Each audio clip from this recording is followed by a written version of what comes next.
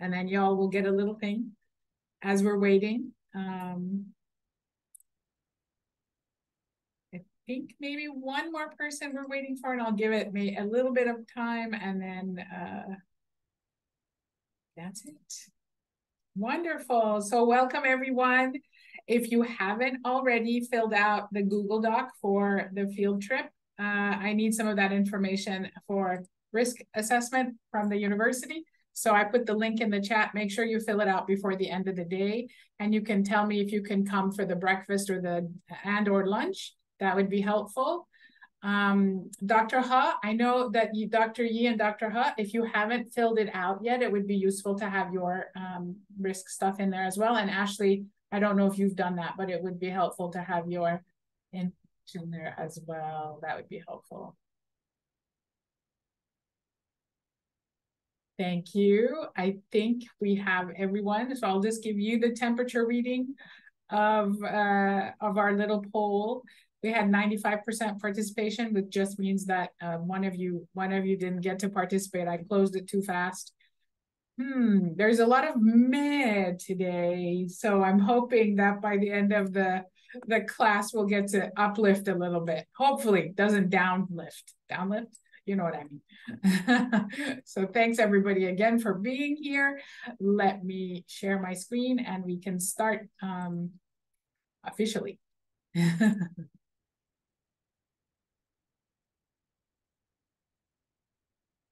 So today we're extremely lucky to be able to have uh, guests here in our uh, community health course. The rundown of today's class is going to go like this. We'll just do a group check-in, and that, that just means I'm just going to show the groups, make sure everybody has a group, they're in a group.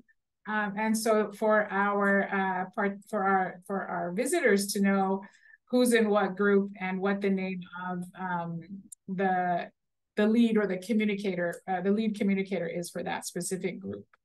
Ashley, um, because I can't see, so Ashley, if Paul joins and I don't, uh, I don't have a chance to, I don't see him, can you alert me? Thank you, thank you, dear. I appreciate you. Yes, I will do so. Thank you. So um, before I go forward, I wanted to first introduce two amazing professors who are here as mentors, advisors, uh, resource people who are absolutely amazing. One of them is my really dear friend and colleague from USC, Dr. Jimmy Ha, who I have worked with over the years in research. She's here from the Keck School of Medicine. She's a social psychologist and uh, is amazing. And Dr. Ha, please give your give a little bit of introduction uh, to the students of who you are.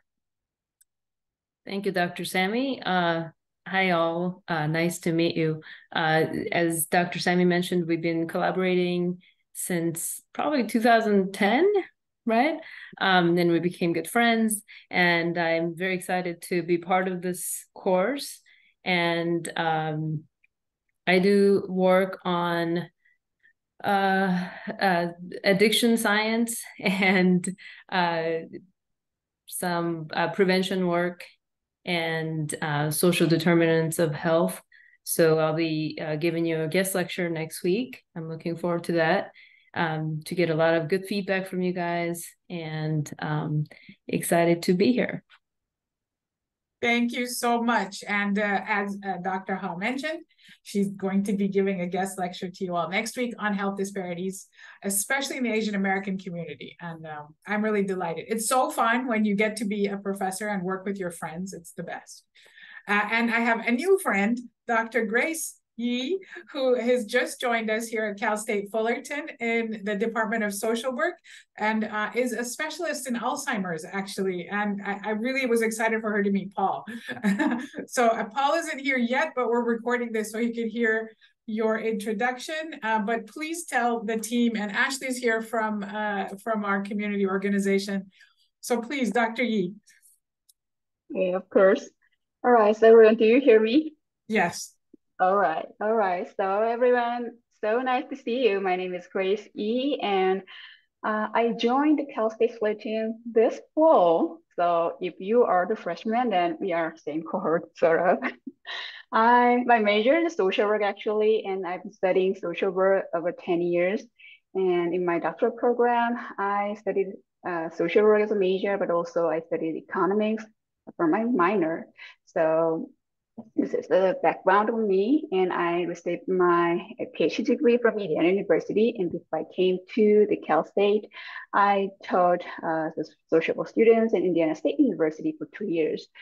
And as Dr. Moore uh, introduced, my main focal area for my research uh, is Alzheimer's disease and caregivers, especially caregivers uh, serving the people living with dementia. And also I'm studying about the end of life care and ageism. And yeah, so because I am a gerontologist, so all health and social issues about all the adults and the family members caring for their uh, aging uh, family member is my uh, population of study and concern. Then I really appreciate this opportunity to join this class and have a chance to collaborate with a brilliant student. So thank you for having me. Thank you so much for being here. We appreciate it. Uh, I think the, the group that will be working with Alzheimer's will be very delighted to work with uh, Dr. Yi as a resource person to reach out to her. So I'm looking forward to seeing what where this takes us. It's very organic. As I've mentioned before, this type of course isn't something that you can plan for and just run like a machine. It doesn't run like that. When we involve community, things are organic we have resource people coming in and out, things get bumpy, but we do our best, right? Um, with a humble approach to the work that we do. So I'm very delighted that you're all here. Um, I'm going to do a quick uh, overview for the students to understand what happens now. You did one assignment, you reflected, you watched a documentary called Power and Health, and you read a chapter on health disparities, understanding a general model of vulnerability before class today, that's kind of an organizing frame for you as you move forward in this class. But I wanted to also talk about where we fit in on the spectrum of community-based participatory research.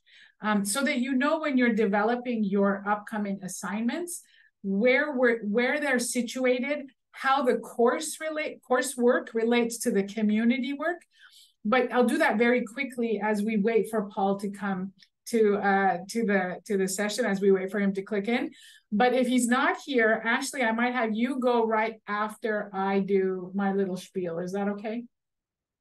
Let me just make sure I can. Uh, yes, I've already said that you could share, so we could do that. So let me just do that really quickly. So as a um, reminder, I think I have the groups correct. Can you all look, make sure that I did the groups correctly and that nobody's missing? If anybody's missing, tell me. Um, and the people who are underlined in red are the lead communicators. So the, the team leads that I'm asking uh, folks to um, communicate with me if needed for the team. Um, did I get anything wrong, right? Paul is here. Hi, Paul. Welcome. Thank you for joining us all the way from Chicago. Thank you. Sorry, the drive was longer than expected. No, I'm not at all. You, there's no uh, sorry needed. But I'm wondering, Paul, if you don't mind introducing yourself. I just uh, we just introduced Grace and uh, Dr. Yi and Dr. Hi, Dr. Yi. Can you say hi to Paul so he sees you? Do you see each other? Uh, Hello. Yeah, long hello, there we you. go. I know. It's been a while, a couple of weeks, right? yes, it is. yes. Uh, I can introduce myself, my Yeah, please. Yes. Uh, I am a licensed clinical social worker. I've been in the field for over 20 years now. And I was uh, a former missionary uh, before that. And uh, I, I was I actually came back to, to Chicago and just drove back from Iowa to visit uh, my former seminary and uh, professors, and they asked me to come back to teach. Don't don't leave us. Don't leave us. uh, but uh, yes, it's reconnecting. Uh, my passion is in uh, mental health, of course, and especially in suicide uh, and community organizing. So that's the heart of social work, resource empowerment, and community organizing. I'm an open book, so if you have any questions, feel free to ask. and I'll do the best I can to respond. Thank you so much, Paul. I appreciate you. We're going to get to you in two seconds. And um, the reason why, Ashley, I didn't have you talk again, because we introduced you last week and you're going to give a talk. So I apologize. Do you want to say something? Let me open it for to you. No, no, no. It's okay. I don't want them to, I don't want to wear them out. I don't think it's hard for me. So it's okay. I know okay. we introduced last week. Thank you so much, Dr. Thank you so much. So um, I'm, as I mentioned, Paul, just for your sake, I'm going to go through a quick overview of where this class fits in with the spectrum of community-based research um, and how their assignments are going to connect to the community process that we're engaged in before they hear from you. So they have an idea. So all the students, all of you have an idea of where we're going with this, right? I have to like walk you through it because this class is quite organic.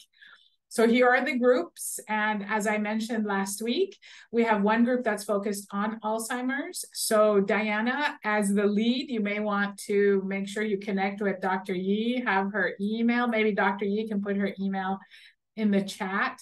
Um, and group two is focused on addiction. I put tobacco here, but it could be substance use, marijuana, or tobacco. That'll come out from the literature review and conversations and observations in the community. Um, and group three, you have addiction for gambling. But again, as I noted last week, it can be gambling or social media, depending on what comes out of your literature review and conversations in the community. And again, everybody in red are the team leads. So you just want to make sure, oh, who do I need to contact? Do we need to contact, uh, for example, Dr. Sami, that's myself. If I have a question, I want to hear from only that lead in the group on behalf of the group, if possible. That's the, that's the plan, yeah? So did I, everything, I'm assuming since there was no objections or comments, this is our correct. I got it correct. Okay. So I wanted to do this quick overview of traditional health research and community-based research, right? So traditional health research tends to focus on individuals, on individual uh, health outcomes and behaviors and or healthcare services, right? So this has a lot of work that's done in traditional approaches to research when we're thinking about health research in this space. So I want everyone to understand this is not what we're doing. we're not engaged in a traditional focus on health outcomes, behaviors, and healthcare services, but that they actually integrate with the work that we do what we're doing is really expanding our understanding out of the individual risk factors and the individual lifestyle factors. And we're thinking about the social and community spaces, the green space, that's the social determinants of health. So all of the ways that the external world impacts health outcomes. We also may think about general socioeconomic, culture, environmental conditions, racism could be part of that, discrimination could be part of that. So thinking about broader impacts of health and how they they actually lead to particular health outcomes and health disparities. Um, the Power and Health documentary that you watched really highlighted this. And you all mentioned that in your reflections, and you really highlighted that space of what is actually influencing our health that is outside of our control? And what do we have power together to change? So as we're thinking about this concept in this class we're thinking about the word community a lot. What does it mean? How does it connect to health? There is no unified definition in research of community there are dimensions of community that are used in different spaces within research, right? If for the purpose of our class, we're thinking about community in a geographic locality and we're thinking about culture and social membership. So we're looking at Little Saigon as our community, but there's that's only a few of the dimensions of what would be considered community.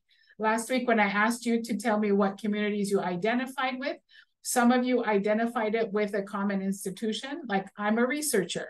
I, I some of us focused on I'm a feminist. I'm uh, so a shared action, maybe studying together at Cal State, being first generation uh, as a as a common kind of shared experience. So there are different elements, and it doesn't mean anything is wrong or right. It's just I'm showing you the dimensions that we're focused on are the dimensions of community that reside in geographic locality and culture social membership to a particular uh, group. So in this case, the Vietnamese American community in Little Saigon.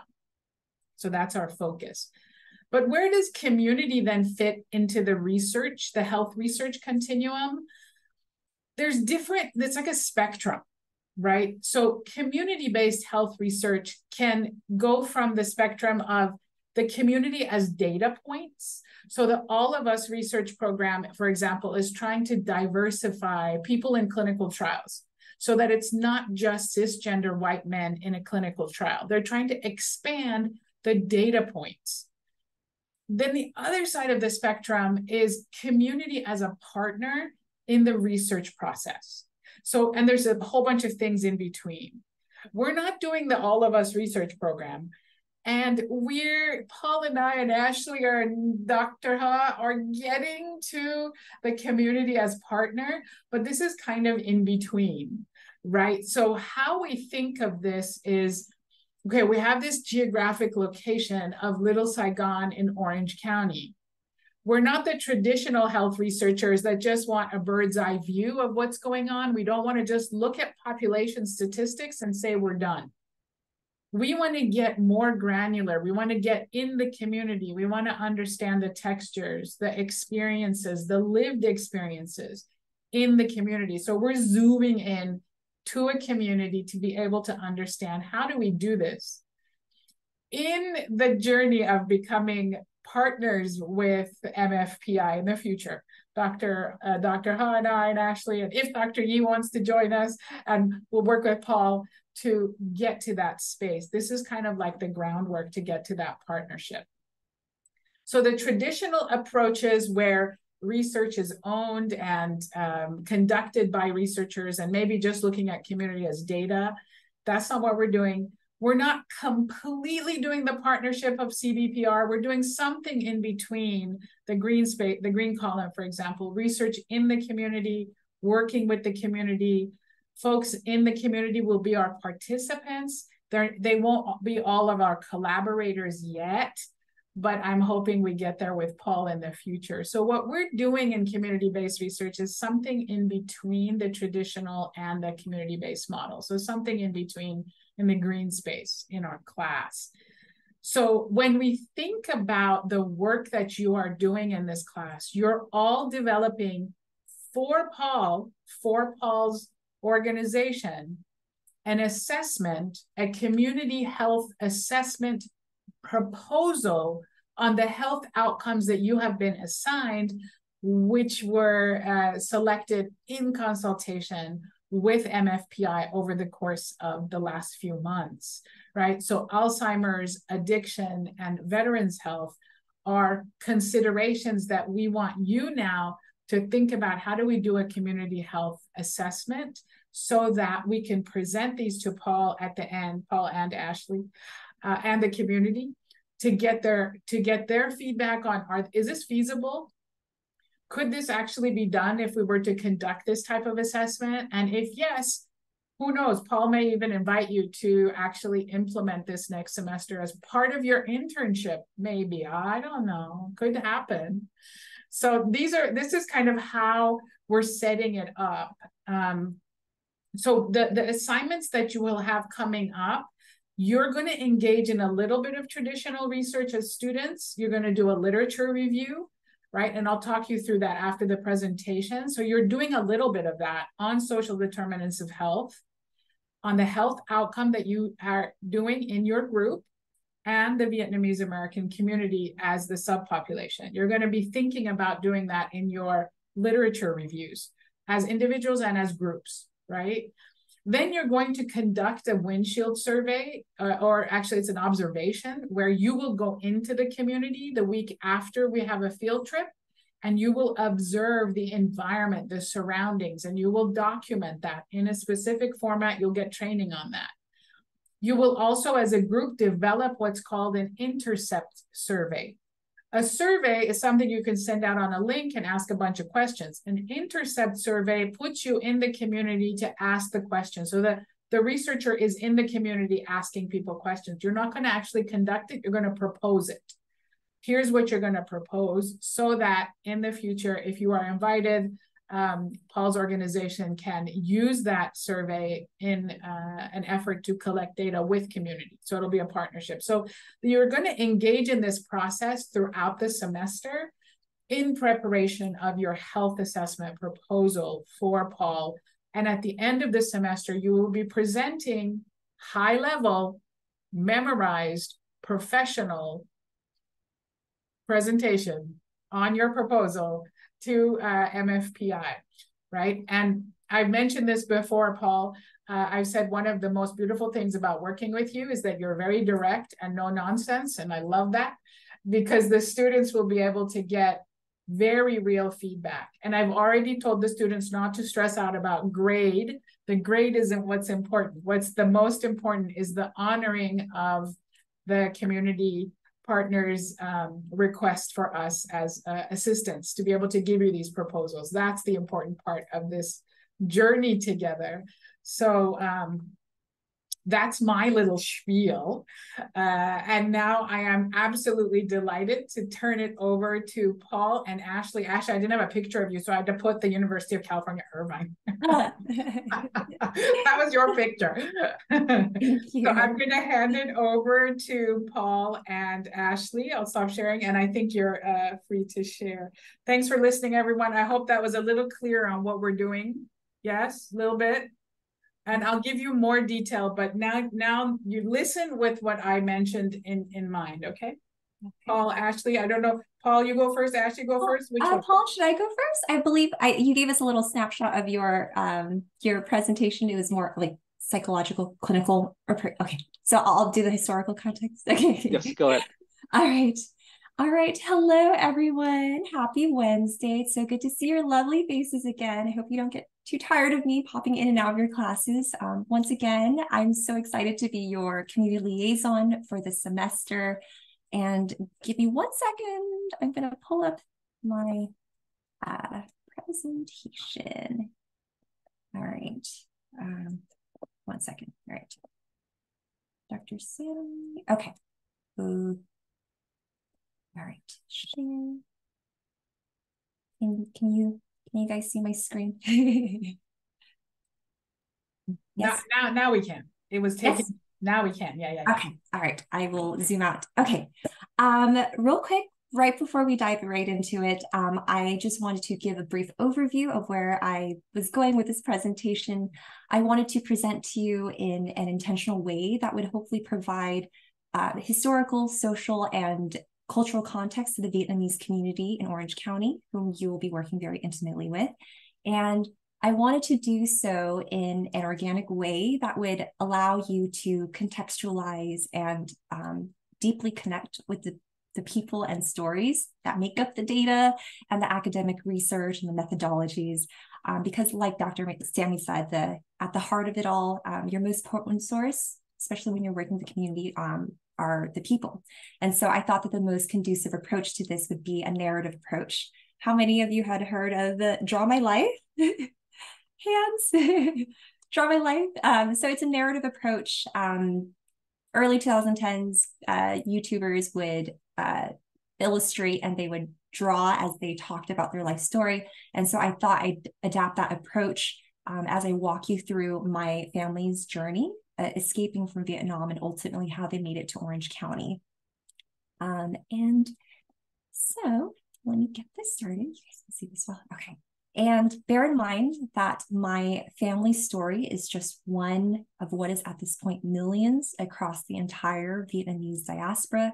So there will be inevitably variations um, that we come across, but I invite you as you know, as I walk you through this, I invite you to note the common threads and the major themes, especially as they relate to the specific health, health outcomes that you and your groups are looking at. So as we get into it, uh, first, I just wanted to give you a snapshot of the small sliver of the Vietnamese diaspora that my family occupies. I come from a big family. My dad is one of 14, mom is one of eight. And um, respectively, uh, my, my, my dad immigrated in um, it, escaped in 1975, and my mother, uh, her journey was from 84 to 87. my paternal side uh, migrated to uh, Germany uh, due as as a result of sponsorships. Um, I know earlier Dr. Sami mentioned in her slides about religion, so that played a key role in my family's uh, journey too. It was the help of sponsors uh, such as Christian Brothers and uh, religious dioceses that allowed my family to migrate in that uh, route. And I know earlier I've dropped this word a lot, uh, diaspora. And so I just wanted to open the floor uh, to a little discussion. Uh, what is what is diaspora? What do we mean when we say diaspora? If you can give me an example or how it comes about. I'm sorry, I can't see. Dr. Sami, you can call on anyone because I can't see on my screen. So and, and y'all can unmute too. What is diaspora? Do you all know this term? You've heard of immigrants, you've heard of refugees, you've heard yeah minority community, but what is the diaspora? You may have heard that in relation to other communities as well. Any examples or maybe how it comes about? like what drives or what causes uh, diasporas, anything at all. Um, I bring this up because I know last week we mentioned uh, in our introductions, we mentioned that so many of us are first gen and so many of us come from you know a family of immigrants so so many people in the united states do and so I, I thought that this would be a great starting point so if anyone wants to chime in diana please go ahead yes Can y'all hear me? Yes. Yes? No? Yes. Okay, yeah, because my Wi-Fi is going crazy right now. Um, but I might be wrong, but I think that uh, I, I when I think about a diaspora, I think about uh, downtown LA, where there's little groups of uh immigrants who can they're like like Latinos, and they come from different parts of the world, just like and and they congregate there and they share their cultures there. So basically they are taking a little part of their country and putting it into this country which is basically a mixture of different cu- cultures colliding together. So that's pretty much it. Thank you diana for contributing to the conversation. Yes thank you diana. Um, anyone else? Ashley i not that i don't know what it is but you know, when you just ask it for the sake of conversation, this word to me means spread out, disconnected, right. um, just for the sake of consult conversation. Okay. So, um, exactly. Thank you, Diana. Thank you, Dr. Sami. Um, so, what I'm hearing is uh, it's a large group, right? Like Diana, as you said, it's a large group spread out, scattered, who share a common cultural, or um, it could be regional uh, religious origin who are living away from their traditional homeland. Um, and so diasporas come about through immigration, war, forced displacement, and essentially um, it's people who are away from their homeland. They form these diaspora communities, linking their ancestral homes with their new ones. And so I bring that up to segue into this. I know I meant I earlier I showed you a little sliver you know, the diaspora that my family takes up Vietnam, USA, and Germany. And I wanted to put it right up to this. This is just an imagery of the entire Vietnamese diaspora. Um, and I invite you to keep this image in mind as we slowly build the building blocks for your contextual understanding of the Vietnamese community. I, I know I'm starting broad and I'm going to slowly zoom in on the Little Saigon community, but I invite you to uh, think of this image, especially as it relates to your own experiences um, with your own uh, communities as well. And we will segue to the next portion. All right. And I'm sorry, uh, just to make sure you you all can see the images just fine. Okay, I know I'm taking like a different approach to the PowerPoint approach. So I love this more. It's so awesome. yeah, so we're traveling. We're we're we're we're going to journey through this. Okay. Um, so just a quick snapshot. Uh, we're zooming in a little more now. So we started a little global. Now I'm going to zoom in onto Vietnam itself, and I'm going to start with a little journey with just my family's own migration journey within Vietnam. So my both my and just to preface this, I had the lovely grace of my parents uh, sitting down with me to talk and walk me through this journey. So it's thanks to my parents that I have this content. And so my both my father's and mother's side are originally from northern Vietnam. And it was after the uh, Indochina War in 1954. We'll, we'll get a little, we'll brush up on it a little more, but it was after the Indochina War of 1954, uh, the collapse of the French colony and the uh, subsequent takeover of the communist regime that drove my family from the northern Vietnam to southern Vietnam. And I bring this up because I've often heard iterations of this growing up. I've often been told that Vietnam, Vietnamese people are a people of tragedy. Um, Vietnam has experienced centuries of foreign uh, occupation, uh, interference, internal conflict, and civil war. And so its history is extremely complex and it's intertwined with um, with neighboring countries like Laos and Cambodia, Mongolia, and China. And so I, I there's no way for me to condense all of that, but I do my best. Uh, I just wanted to give you a snapshot of uh, the the history of the country uh, in terms of the conflicts that it has um, undergone in in uh, in most recent years. So China occupied Vietnam for a thousand years uh, before it was ejected in 938 AD. Then you had the subsequent invasions by Mongol, and then uh, as we know, the French occupation uh, for over 100 years. And this is essentially what laid the groundwork for a lot of the, the simmering resistance and, uh, you know, the intensifying the pursuit of change that, you know, ultimately set the groundwork for the Vietnam War, which uh, segues into, as we know, the crisis that ultimately led to the displacement of millions of Vietnamese refugees. And so with that being said, I want to walk you through my family, my parents' individual journeys. Um, I routed, I know it looks like a mess. I promise I will walk us through this. Um, I routed my parents' individual journeys. And something I'd like you to pay attention to or note is that their journeys are very different. Uh, key dates 1975, whereas my mother's is 1984. Um, they're very different. And I wanted to, before we get into their individual journeys, I'd like to preface it with um, just distinguishing the different waves of refugees that um, that make up the Vietnamese community. Um, the refugees are often lumped together simply because most escaped with uh, their clothes on their backs, and so. But when whenever we lump uh, refugees together in this way, we neglect the specific distinctive immigration processes that happened in each stage and um, along with the levels of reception that they received. And so that's something I wanted to point out was that um, when you're thinking about refugee uh, and especially communities within the Vietnamese population, we need to note how they escaped, when they arrived, and the variation in uh, socioeconomic status. And so real quick. The first wave uh, arrived in 1975.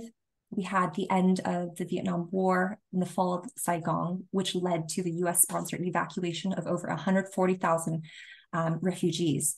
And these refugees were most of whom were educated, they spoke some English, and oftentimes they were mainly military personnel or urban educated professionals or people with association with the US military or the uh, South Vietnamese government. And so the government, um, uh, the US government essentially prioritized them uh, since they were targets of the communist uh, forces. And so that's that's sort of a snapshot of the first wave uh, that arrived in 1975. And then we move on to the second wave. Um, this wave is uh, began in 1978. They are known as boat people. And later on, as we go through my mother's story, I'll, uh, it'll become clear why. Um, and this wave of refugees received colder reception from the American public. They were generally poor, um, less educated, um, less well equipped for American life. And um, they've experienced political repression, trauma on the high seas, and harsh conditions in refugee camps. And another thing to note is that um, the American public support for refugees waned during this period as the economy sunk into uh, recession. And so they received a much colder reception from the American public at this time. Uh, there was a lot of anti immigrant sentiment that arose uh, during this time that was fueled by a declining economy. And that's the second wave. And then we have a coinciding wave uh, with the second wave. And this is between the periods of 1979 to 1999 this is the U, United Nations Orderly Departure Program, where they allowed migration directly from Vietnam to the US. And so, unlike earlier arrivals, this group contained fewer re refugees, and um, more than 500,000 were um, uh, assimilated into the US and across uh, the country in this way. And finally, we have a subsequent migration, which mainly consisted of immigrants reunifying with relatives in the United States. So as we move forward and as I walk you through my, my family's journey, I just want you to note like the different waves, the different key characteristics that um, make up these uh, these refugees because they set the groundwork, especially for their trajectory for how they uh, managed to adapt and whatnot. So we'll move back. Thank you for bearing with me with this journey. Like Dr. Sami said, this is a very organic All right, so we start with um, just real quick, just for based on what I've told you, and based on what you know about the different waves of refugee, wh- which wave would my dad's journey fall under? Anyone?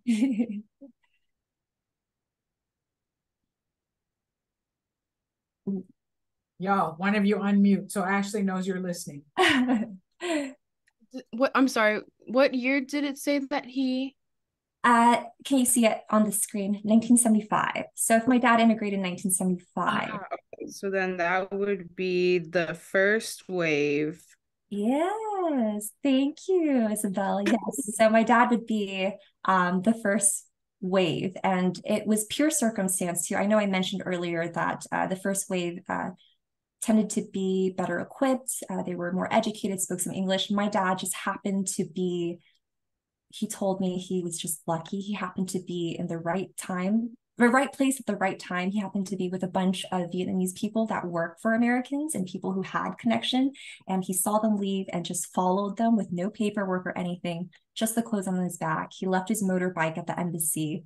Um, and, you know, when you deep dive on your own research, you'll see that it was very chaotic. Um, but I will zoom in on a quote directly from my father. Um, about the evacuation. How did you know that the US Embassy was evacuating?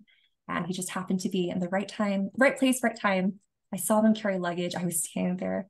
I saw that the people getting on the bus, I knew that they were going somewhere.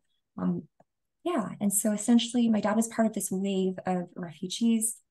Their first stop was Guam. It's a naval base uh, where he spent two weeks.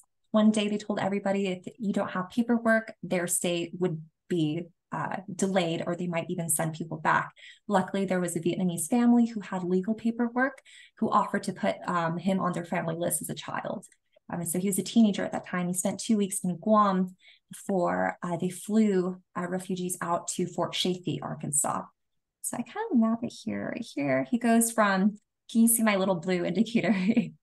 he goes from uh, he goes from Guam to Fort Chaffee. This is his first stop in the United States. And this is where he spends a month. Fort Chaffee was um, sort of an intake. This is where they uh, processed a lot of Southeast Asian refugees. And I, I believe it's like over 50,000 Vietnamese refugees who um, came to Fort Chaffee. And this is where they learned English. My dad said that they watched movies and they fed them very well. Um, so that's something to note too about the differences in the journey. Um, there's a lot of resources there. And following his stay in Fort Chaffee, this is where a lot of refugees waited for sponsors. Um, at the time, the US would only allow you uh, to resettle if you had sponsors. And so that was the main route that um, that a lot of refugees took during that time was through sponsorship. And so my dad was actually sponsored by Christian Brothers, uh, a religious organization that took in these refugees and he went from Fort Chaffee to Tulsa, Oklahoma, where he lived uh, with Christian Brothers. And there he was taught English. He attended school. um, under their guidance and care. And then he spent a short stint in Memphis, Tennessee, uh, again with Christian Brothers. And I asked him about just, you know, his experience with uh, racism and whatnot. Um, he didn't experience it at the time. So that, that could give you an indicator of this sort of sentiment uh, the, the American public had. They really welcomed, um, generally, they welcomed refugees more during this time, uh, since there was, you know, more of a large sense of guilt that came with the war uh, and their involvement in the war. And so my dad spent time in Tennessee before he ultimately wait, made his way to California. Um, and he attended a Catholic event in Mountain View, California, and uh, ultimately met family in El Monte. And he said, the first time I visited, I felt that Cali is the place I want to live. All right. And that is a little bit about my dad's journey. I'm going to bounce over to my mom. So, my dad's uh, journey to Saigon, this is in 1980. I want to bounce a little bit to my mother's journey now. So, I'm going to bring up the question again based on what you know about what I regurgitated earlier. Um, can anyone make guesses on like which wave of refugees my mom would be a part of? Just from this little snapshot about people. Um, anyone? yes, Noah. Um, I guess second.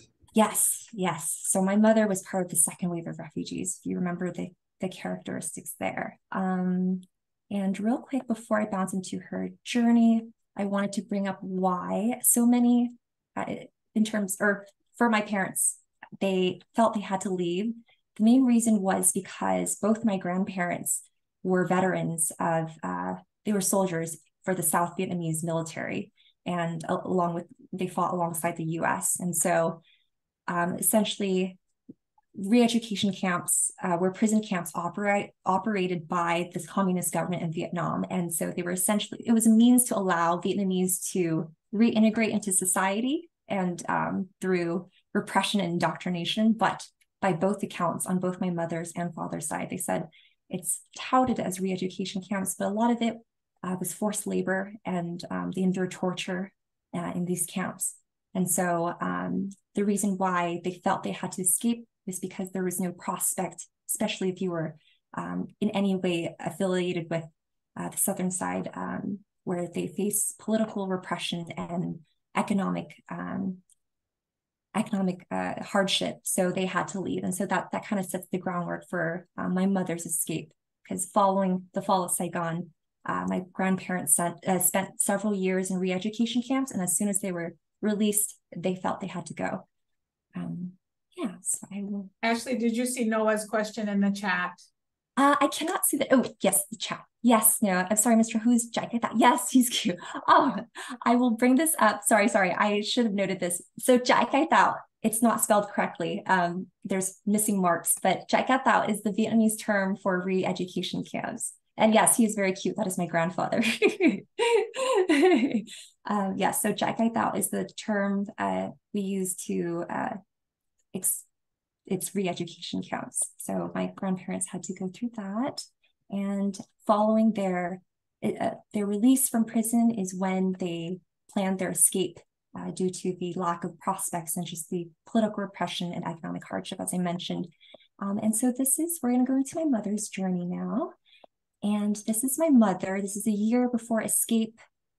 It took her three attempts. I, her oldest brother, it was 12 attempts. And each attempt, uh, they would be captured and then they would have to work in fields or um, they'd have to clear jungles, uh, the kids. So my mother, uh, on her third attempt, was able to make her way out of Vietnam. And I'm going to backtrack a little bit. How they escaped was actually they had to escape in pairs um, they couldn't, you know, go as a big group. They had to escape in pairs. So that's essentially what set up the groundwork for sponsorship was because she had had um, relatives who had left before her and they'd make it and then slowly it would just be them one after another. And so my mother on her third escape, uh, third attempt was able to escape through the jungles, walking um, into Cambodia, where she spent two months um, just waiting for the right conditions for um, her alongside with many other uh, Vietnamese refugees who were escaping, and they were able to wait for the right conditions for them to leave by boat to Thailand. Okay, and I don't have pictures, unfortunately, of a very traumatic time, but I got this from the New York Times. This is essentially what these boats, uh, some of these boats look like, just very crammed, um, awful conditions. Um, but you see these refugees, they didn't know if they were going to survive. They didn't know where it was going to take them, but it was um, bad enough that they felt that they had to leave. And so this is what my mother did. Um, she made it to Thailand and we uncovered a treasure trove of pictures actually with inside these refugee camps. So this is at the Klong Yai uh, refugee camp in Thailand.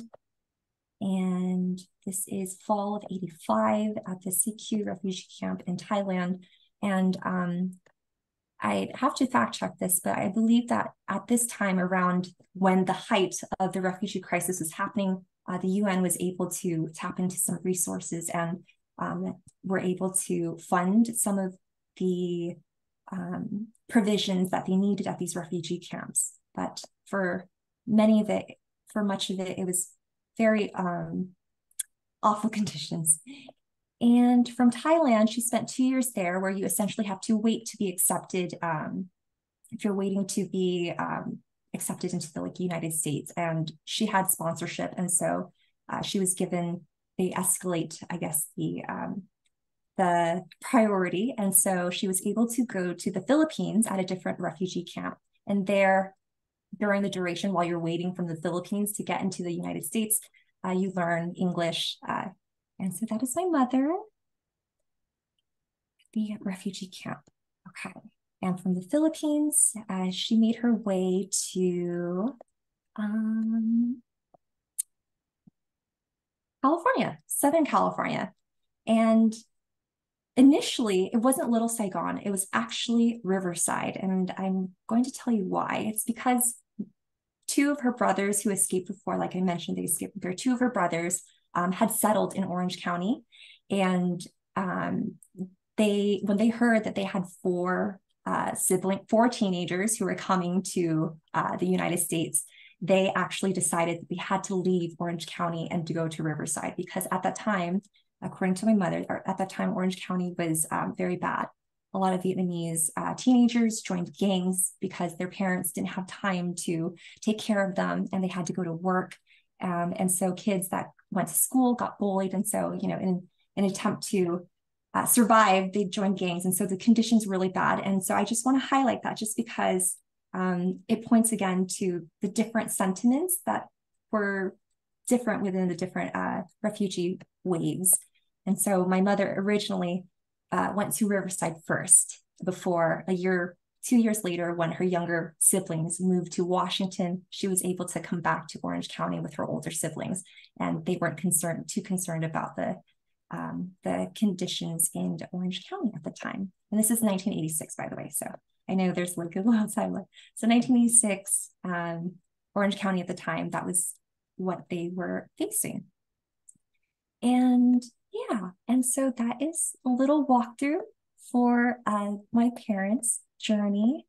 And I want to bring it back to this just the differences in uh, the refugee waves. And move on to. All right. Ashley, this is amazing. And what an opportunity for you to connect to your yes. parents and the history of your, like the ancestry this way. I mean, we're so lucky that you're providing us the, this context. Really, I appreciate it a lot. Thank you. Thank you. Okay, so um, initially, refugee settlement policies dispersed Vietnamese across the country in an effort to avoid financially um, burdening local social services. However, out of survival, a lot of Vietnamese regrouped in regional areas where they could find better social services, uh, better education, better employment opportunities. And so this is essentially how large clusters, uh, large clusters came about. And it's why we have these enclaves of Vietnamese in San Jose, uh, Washington, um, in different parts of the country. And none other than the biggest enclave, which is Orange County. Orange County has the biggest population of Vietnamese outside of Vietnam itself. We, I think there's a term they called it like Vietnam Vietnam, Vietnamese American capital. Um, it's the capital, uh, essentially outside of Vietnam.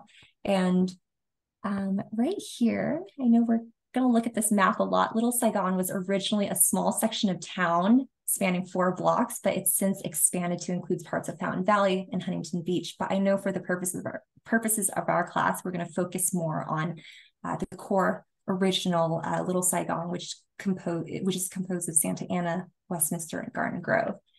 And um, right here, to go over my mother described it best. I asked her why Orange County. She said good weather, um, but it was also because the community grew as businesses opened and families set up. Vietnamese that came could work at businesses that are already set up where they could communicate in Vietnamese, such as restaurants or tailor where they didn't have to speak English. And so I bring us back to these different waves of uh, refugees. They had a range of different human and social capital. Um, the first wave had like more connection, social connections, former American contacts or contacts they knew in Vietnam. And so they were able to come and establish this array of businesses beyond just the typical grocery or the typical store. And then from there, the subsequent waves, um, uh, especially those with limited job skills or English language capabilities, um, who are who were more dependent on the ethnic economy for employment, were able to then come in, and that's essentially how uh, the Vietnamese Little Saigon was able to be this self-sustaining um, community, not only just being able to build it, but to continue to stimulate and sustain its growth too. And yes, and let's see. Um, I asked my parents this question. Um, how did you see Orange County evolve over the years? Orange County started to have more businesses and offices, a lot more services to help other Vietnamese governmental services never had any Vietnamese people, and now there are a lot. So that highlights the political clout that this community has um, um, has grown. And then for my father, he said when I first came to Bolsa Avenue had very little businesses. Now starting to lower K towns. So I'm a witness to see how the Vietnamese community has grown very fast. And yes, and we will learn more about this as we do the walking tour. And finally, I just want to wrap it up with just the key takeaways. The just want you to, I invite you to just keep in mind the historical, the socio-political, and cultural contexts of which uh, illness might arise within this population. I, I, know there was a lot of content that we dabbled in, but um, hopefully these little uh, pieces can kind of get your gears turning uh, in terms of how we think about health. And then the next point is just the characteristics of different waves of Vietnamese who came to the US. Um, that's very important in terms of just it lays the trajectory. I, have experienced it myself. Just you know, I was born in the United States, but my parents' refugee experiences definitely. Um, we never quite settled is the, the only way to put it. We never quite settled, and um, much of it is unspoken. And so, those different waves, the different characteristics, and how that lays the the groundwork and the trajectory for the rest of their lives for the past 40 years uh, really dictates um, the relationship to services and health and whatnot. And finally, just the impacts of war and resettlement on the community. All right, any questions? Thank Ashley, you. I so appreciate it. Can we all give the, Ashley a round of applause uh, for that in-depth view? I'm wondering if, um, before I hand it over to Paul, if Dr. Ha or Dr. Yi had any reflections from your areas of expertise, why it was so important for us to understand how Ashley presented this, like the characteristics of different waves. How does that impact our work in uh, community health spaces or in social psychology or in social work? Just from uh, Dr. Ha and Dr. Yi, totally putting you on the spot. Any reflections uh, thinking about how important this was in terms of context or cultural awareness for research? Yeah, um, Ashley, this was so wonderful. I mean, it was an mm-hmm. excellent presentation and I really enjoyed the format of the presentation. I mean, not only the content and the juiciness of all the uh, family history and all that. I mean, it really kind of contextualizes some of the disparities that we might um, observe in terms of our health outcomes. Uh, as Dr. Sami mentioned earlier, uh, health outcomes um, should be considered in many different uh, multi-level uh, framework. Um, you know, there's like the historical uh, event that had taken place that affects certain groups more than others. And there's obviously this cultural trauma that um, that has affected intergenerationally and that's still lingering and that would have sustaining effect on mental health and what drives some sort of health behavior of that group. And this is just particular for Vietnamese community, but you can reflect upon what might have happened for your own community that you might identify with or um, is trying to study.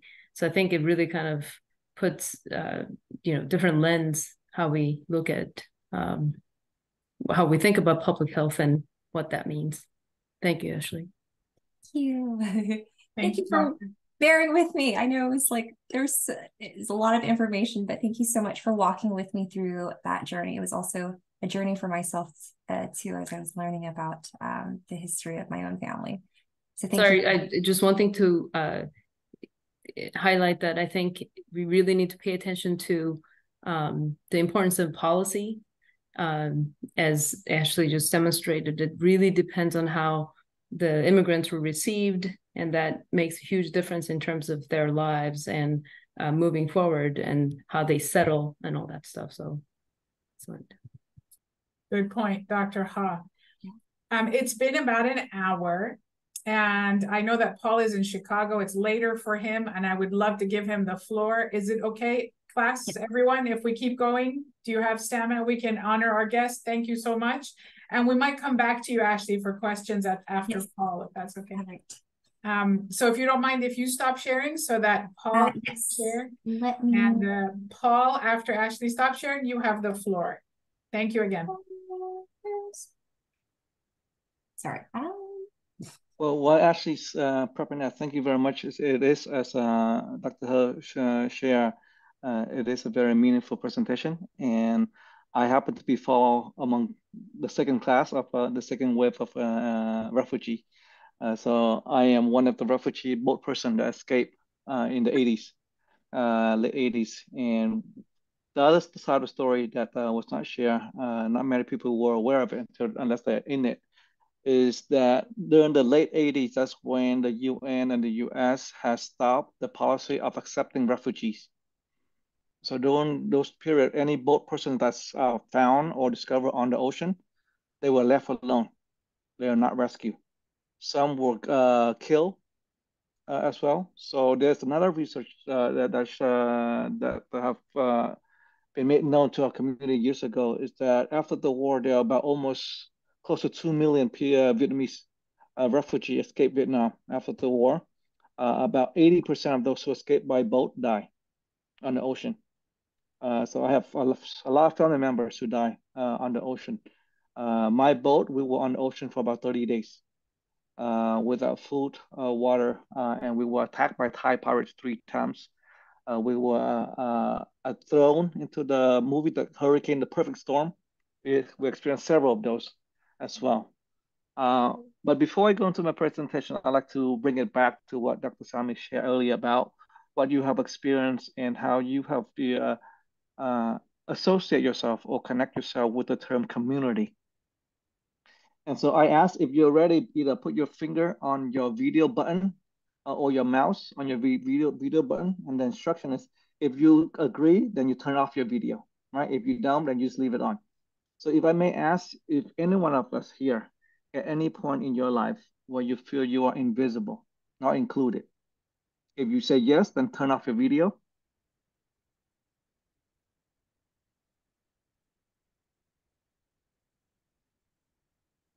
Okay. So you see as so much as uh, how many in our community or in this class here at one point in our time, right, have, have experienced the sense of not being included, the sense of being invisible to the either the community, the family, the school, the system, whatever that may be. Okay.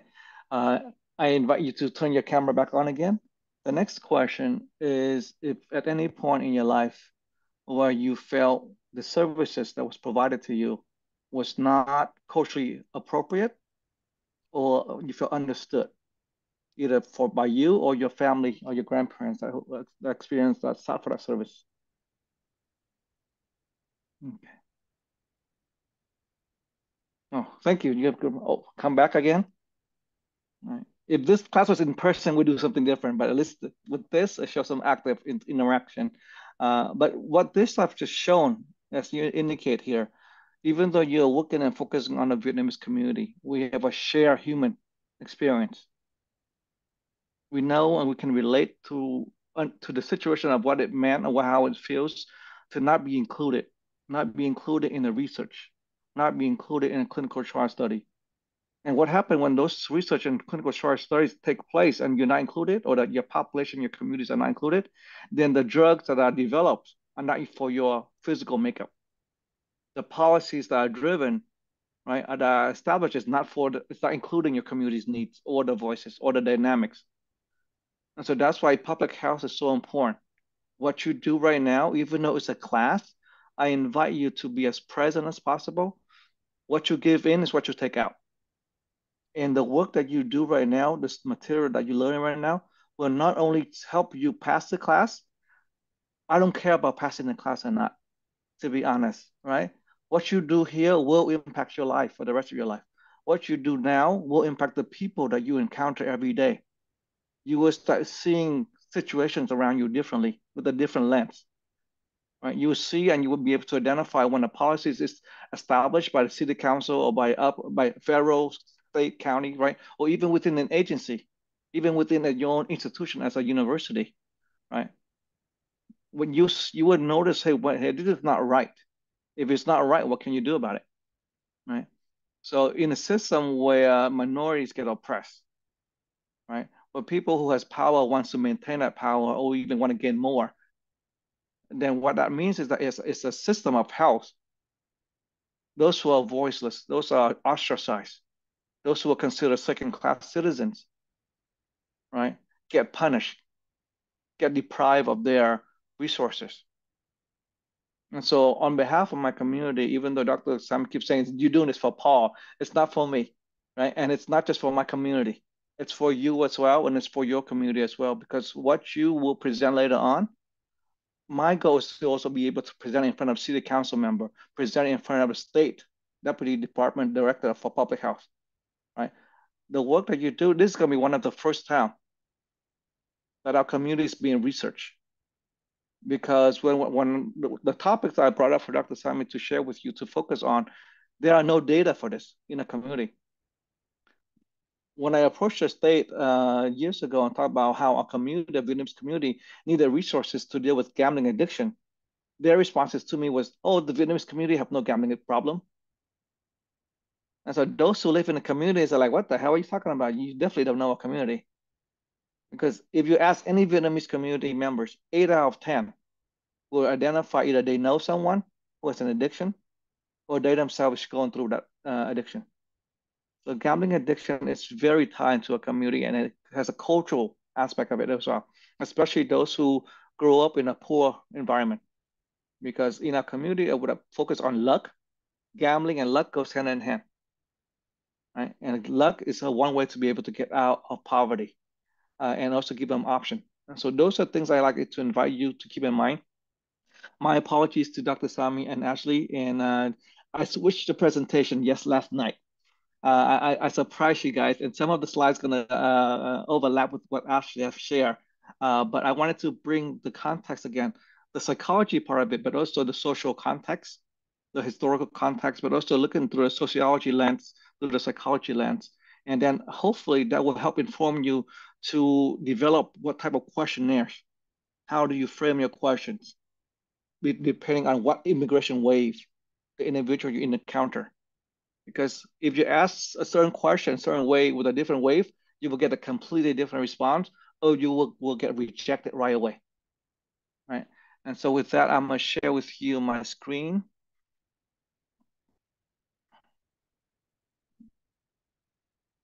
Okay.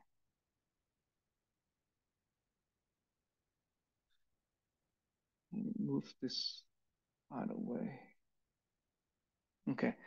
So this is uh, one of the PowerPoint I've used to do training uh, for clinicians a couple of years ago, but I kind of modify a little bit for this class.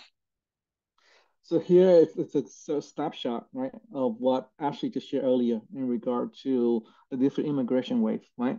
the boat persons, right? And before that, we did the like as rescue, right? The ODP area era where they come and they reunify, and then those who come later on where it's by airplane. There is another wave of uh, migration to the U.S. but from the Vietnamese that not many people are aware of. Uh, there are Vietnamese documented Vietnamese who live in the U.S. in the 1960s. Uh, one of my clients and, and, the people I work with in the past, she was one of the first Vietnamese psychiatrists in the U.S. And she uh, came here, uh, and those those who come here before 1975, those are the ones who are very highly influential in Vietnam, highly educated, and their class and they're well well influenced. And so because of that, they get a chance to go to different countries to study and work and live. Um, here is my short story of my uh, of my history and where I am today. This is the house, right? It's, not the exact house, but it's similar. It's the same one I grew up in in Vietnam. And it's I still remember helping my dad made it out of mud, where I was stomping the mud and the straw together to form the material, the clay here, to put along the wall to form our house. So I still remember that pretty clearly. I also remember our escape from Vietnam by boat. This is very much the same exact boat that my family, 27 other men, women, and children escaped in Vietnam in 1987. Uh, and so we came out. Uh, I put this picture here to honor my dad, my grandparents, all of those who fought for the war, but also the American uh, soldiers as well. And because of all the sacrifices, freedom doesn't come right for free. Right, it comes at a great cost. And so this picture here has always ingrained in me of how valuable freedom is. And the statement I've always believed and practiced is with freedom comes accountability. Because without accountability, freedom is anarchy. And so we have to be accountable for our freedom and what we do and the consequences of, that, of our choices. And because of the sacrifices upon which I've grown, upon which I've developed, I'm able to be where I am today, where I'm able to uh, in one sense, they become successful to be able to train, teach, and do clinical work in the community and, and statewide. In my course of training uh, and developing my own agency, I've come up with this statement here that kind of summarize uh, my mentality in working in crisis mode. And so there are opportunities in every moment, whether we use the moment as an opportunity to stay in the same place or move forward depends on our decision at this very moment. And so what that means is that from a CBT uh, approach, right, our minds has much power.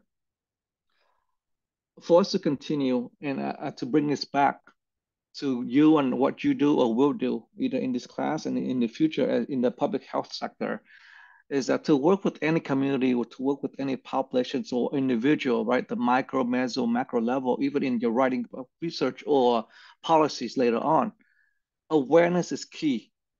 Awareness of yourself, awareness of others, awareness of your environment. It's important. And we talk about, and your class talked about last week about community, uh, actually talk about culture. We know that there are cultures and there's a subculture right? And there's just even more detail depending on what we associate with. And so, and culture is organic. And so our approach, if it's not organic, then we're not catching up or we are not adjusting to the culture that we currently work with. In social work, there is a statement, uh, there's a saying that, that is very true. We always try our best to meet our clients where they are at. Physically, emotionally, psychologically, wherever they are at, we try to meet them and not impose our agenda or our motives onto them when we work with, with our clients. And so that awareness part is important. Right. So in Vietnamese awareness is mean eater. So that's when you guys be familiar with this terminologies later on when you work with uh, the Vietnamese community. Uh, so that awareness of self. If you were to, if, if this is training was in person, I, am able to see you, but since I can't see you, I'm visualizing. Right. If this is you being reflecting upon yourself, right? Without a mirror, none of us can see ourselves. Without a reflection, none of us can see what we look like, right? But so, but through psychologies and through our mutual affirmations and, and uh, confirmation from other sources of information, right? By others, by our environments, then we can get a little bit more awareness of who we are, what we do. So if you, I invite you to learn this course, learn this time, not just today, but during this journey of yours through this public health field. As Ashley I've gone through her exercise of my tell my story, right? Go through your own story. Go through your own story, understand your history, understand your roots, uh, understand what are some factors in your history that has influenced and contributed to where you are today and who you are today. Because if we are not aware of what triggers our automatic responses, then we cannot control it, we cannot modify it, we cannot replace it. So the best way for us to, to do any of that is to be able to raise and become more aware, self-aware of our automatic responses and our trauma informed, right? In, the, in that term uh, of how our histories have uh, informed and influenced us. And then when you interact with other people, how are you aware? Right? In the Vietnamese, Vietnamese communities, how they interact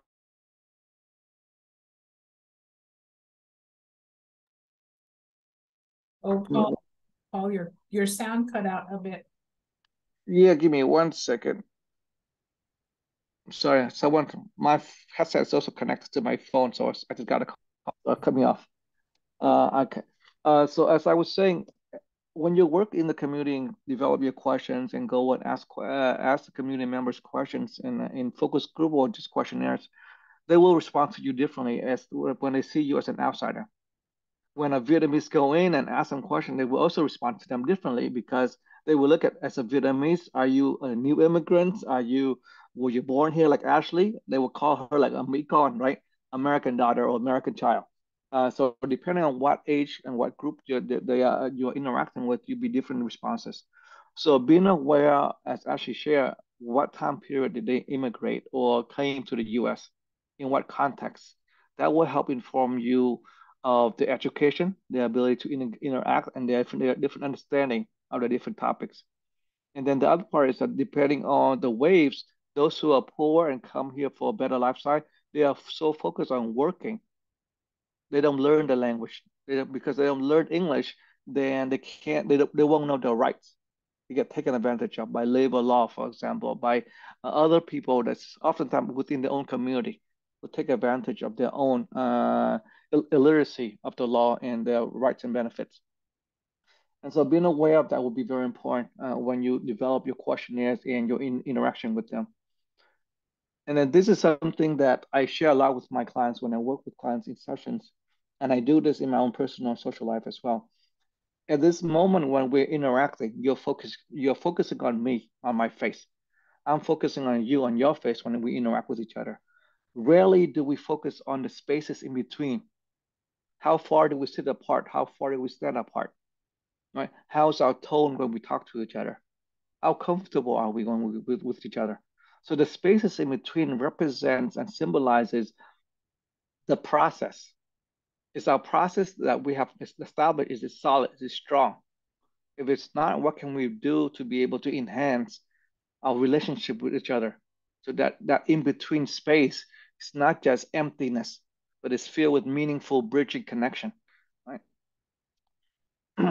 and then at the other part, we talk about cultures already. And the culture here doesn't matter where you're from. I, I love this image because for me, this is art.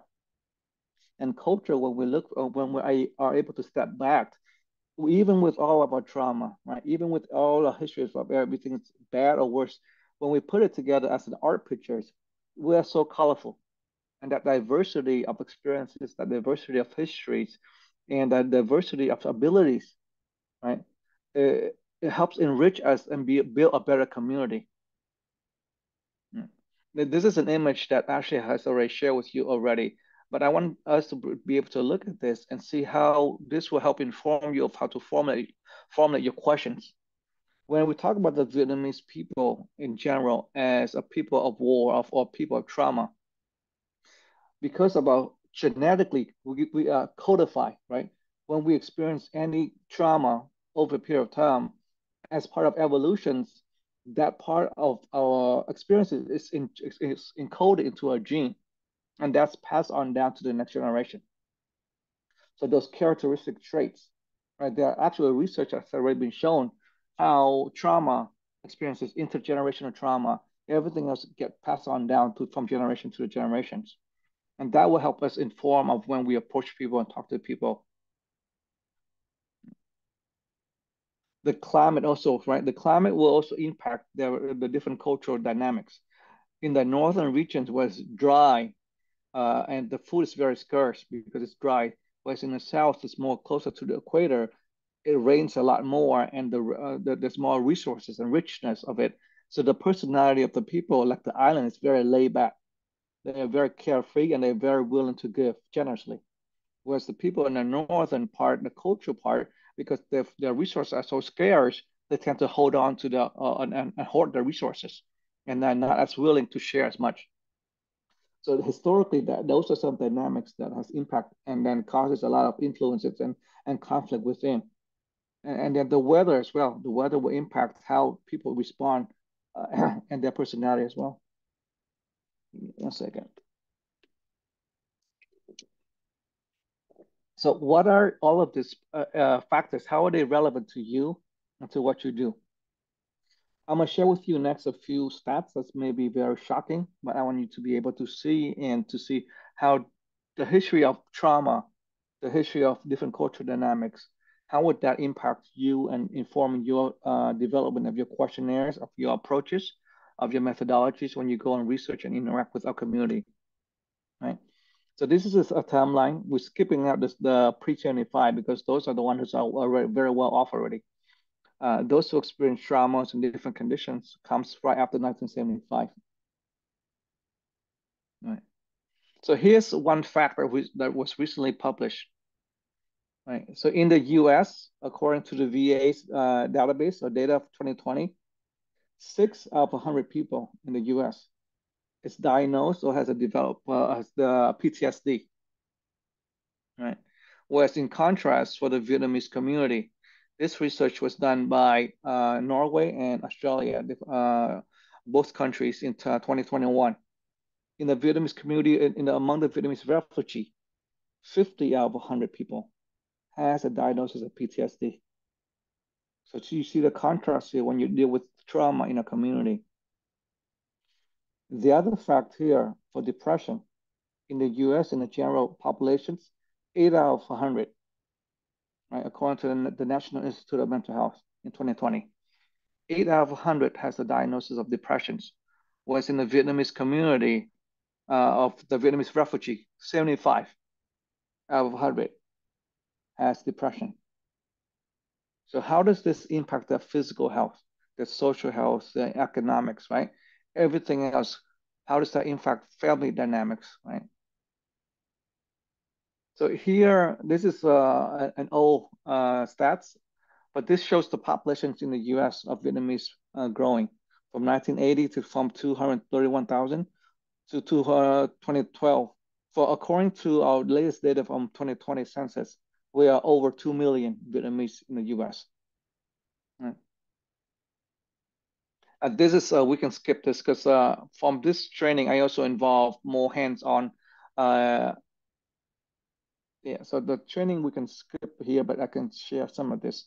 So when you do your or develop your questions, right, consider the place of origin, right? Not just Vietnam, but where in Vietnam, the language capability, because uh, depending on what age or where they are in Vietnam, they may be illiterate, both in Vietnamese and in English the majority of those in Vietnam who are poor, they don't have an education more than second grade or third grade.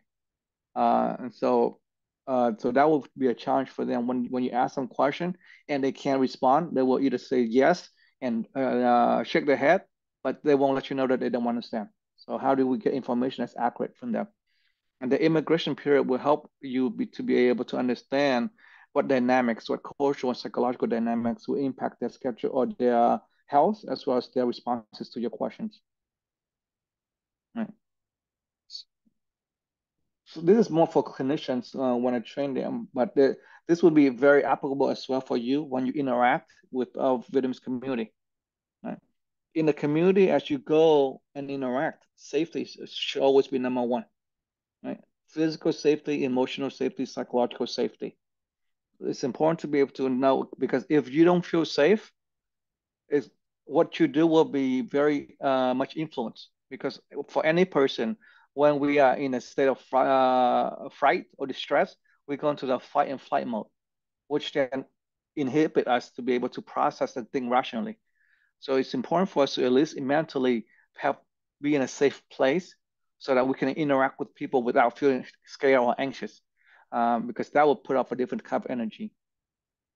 Establish rapport and connection will be important. Before we ask anything of the people, make sure that you have established rapport first.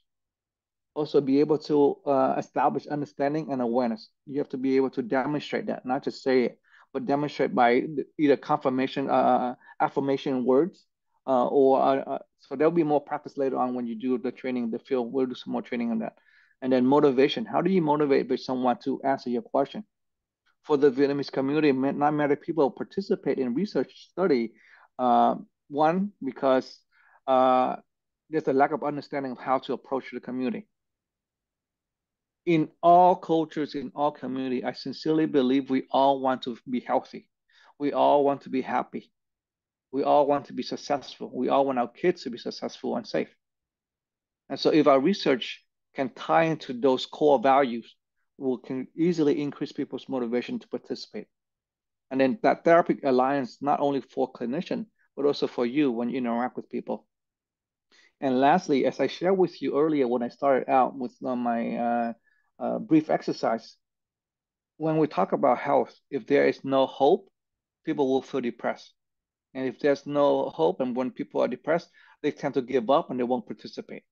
So it's important to help people to understand what's the benefit of what you're doing with them. What's the benefit of your research? What's how does this help improve their life personally, not just their, their, their, theoretically, right? And then here are some of the essential clinical skill. Uh, I, I have more training in my uh, agency. So if you're interested, we can focus more on those training skills. Or you can take a few classes at the social work department there at uh, Fullerton. To Dr. Yi. Uh, but these are a few uh, essential clinical skill that's important to be able to establish and understand when it's appropriate to ask close-ended question versus when to ask open-ended question. When do you reframe? When do you show emotional reflection, emotional regulations? When do you share your intention, right? as Ashley started out, right? She shared her intention verbally and explicitly. That way, it takes away the assumption a part of it. How do we show mindfulness? How do we show empathy and awareness? And the lastly, this one is a lot of people struggle with this. Is how do you sit with silence? Right? When you work with people who are not comfortable talking, and do you keep pressuring them, and then they get they feel like they gonna get interrogated? The moment when they feel they are being interrogated, that's going to trigger the trauma, especially the older generation, the first generation who have gone through the uh, education camp. These are just some uh, terminologies if you are interested in learning, right? But this, because this training was uh, developed for clinicians uh, to learn how to work with the Vietnamese community, uh, I kind of translated for them the different terminologies and how to use it in the different contexts, right? So if this was a training in person, you would have to go through this assimilation training and to uh, the respond to this real scenario. This is a scenario of one of my former clients. But if you read this right here, I'll let you read it by yourself. But look at this could be a very real case that you will be responding to to ask question. So how would you engage with this mother or this family dynamic?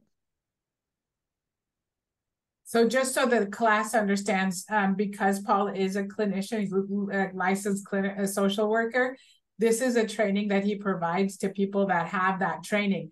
The class will not be engaging in any kind of therapy or clinical work. Um, and so that's really important for everyone to understand. Now, don't run away and go all become social workers. You're in public health. But what I think is so critical is the recognition of the work in the community requires some of those skills from a clinician side that Paul was uh, expressing, like the awareness, the understanding of the cultural humility that's needed to approach the different waves of immigrants. Like the more we know about populations that we work within, the better our survey questions will be in public health, right?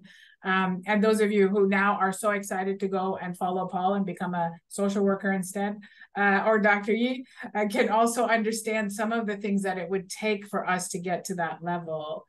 Um, Paul, I appreciate you so much. Is that it? I didn't mean for you to stop talking. I just wanted to make sure everybody knew they didn't have to do any clinical work in the community. That's right. No, no, that, that was the end. That the, the simulation part was the end for people to go through to experience what it's like. Uh, to and in the real training, I actually have the mother there. Uh, so usually in, in all my training, I would have the clients actually pre, be take on that training, and then they get the feedback directly with the client uh, to see if uh, what was their approach effective or not. Yeah. I appreciate you so much. You um, there was a slide you showed about religion Mm-hmm. Um, but we we didn't really talk about that, and I'm wondering if you could give the class a little bit of context of religious dynamics, or whether they're important to consider, um, or whether you know how how does Little Saigon kind of fit into that space, or how does it reflect on religion and culture, and when we go into the community, for example, um, what are some things that you would recommend the students and I look for? Sure.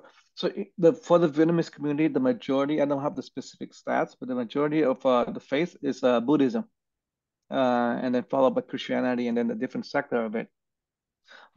Even before the the, the religion uh, was established within the Vietnamese culture, we have a natural animistic uh, culture of uh, believing very similar to the Native American, believing in our in an environment of spirits, right, and then be able to connect to our ancestors who have passed away and honoring them by having their pictures in uh, creating an altar for them. Our cultures have a very strong respect for our elders, of our ancestors, because we believe in because of what they have done before us. That's why we're able to get to where we are. Uh, and so when we when you come and interact with uh, our community members, show that honorific form of respect to the elders. That will gain you so much prop and credibility they will be more likely for them to participate. And if you go to a house, for example, and you see a, an elder there, go to the elder first, talk to the elder first, right? Once the elder, you establish a relationship with the elders, the elder will command the others will follow you, right? Uh, you guys do what she said or he said, right? So that that that credibility is established with the elders will, will help you gain more uh, access into the community. Uh, in terms of religion, unfortunately, uh, I've just learned uh, yesterday, uh, visiting my uh, uh, alma mater, the seminary, of someone I, I know who was a, a, priest, a Catholic priest for a long time. Somehow, a couple of years ago, he got caught up and fall into this cult uh, from Vietnam. Uh, and, and he became one of the minister uh, for the cult. And this cult or this becomes a, a, a religious Vietnamese Pentecostal church. Uh, they believe that every illness is uh, uh, people being possessed by demon.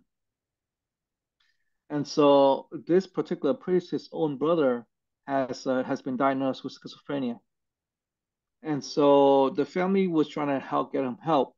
And so this priest encouraged the parents to let the, to take their brother back to Vietnam to be treated by the by the, his group to pray and, and exorcise the demon from him.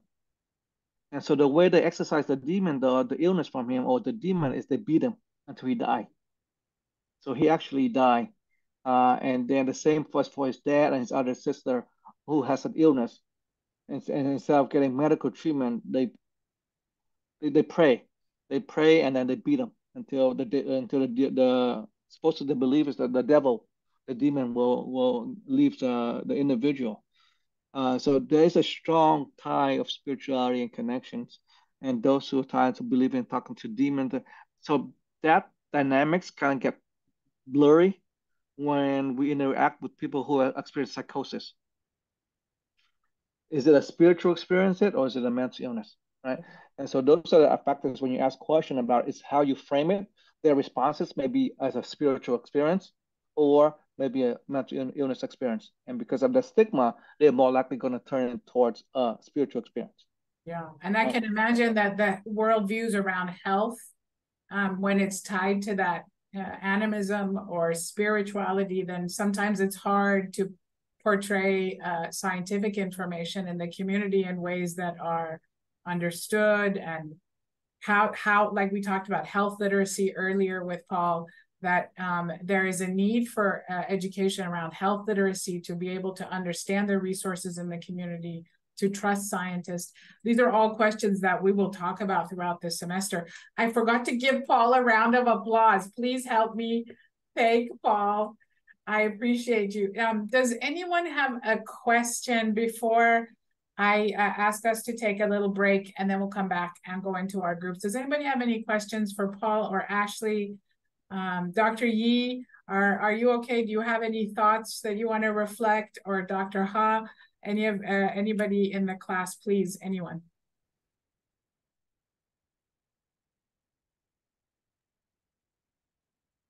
Oh yeah. so All right, so I feel like I am I am sitting in a social work class because all the topics is familiar to me, but I'm also recognize that it is really important to the public health section as well because we have we share the same framework to understand the world. So from the micro to macro perspective, and everything is related to each other, and also from agerontology gerontologist perspective is really important and it is very impressive for me and, and important in learning um, basically is when uh, we when we understand the dynamics of the community then we have to understand the individuals and their life uh, their life. And with a life course perspective um, we can have more clear understanding and we can we can create more uh, well we can create better or best policy proposal to address the exact needs of the people. So the first thing is a comprehensive understanding about the people. And I think it is a really great opportunity for uh, all in this class that we can practice that from the very beginning and I think, yeah, I think it is really awesome opportunity for students, but also for me. So yeah, really, yeah, I'm excited. Thank you, Dr. Yi. Thank you for your uh, for your contribution. Uh, appreciate everybody here. Is, does anybody have a question? Anybody want to say thank you? Unmute yourself so Paul and Ashley know that there are people behind these wonderful faces. y'all in a community health class y'all got to talk i'm telling you this is not going to work out if it's going to be like this the whole semester um, okay so to, to give our, our our wonderful participant i mean our wonderful guests a little break uh, a round of applause what is one of the students why don't you come back at 540 uh, and you can go off camera if you want take a little break come back at 540 Thank you again to my guests. I'll, I'll hang out with my guests for a bit.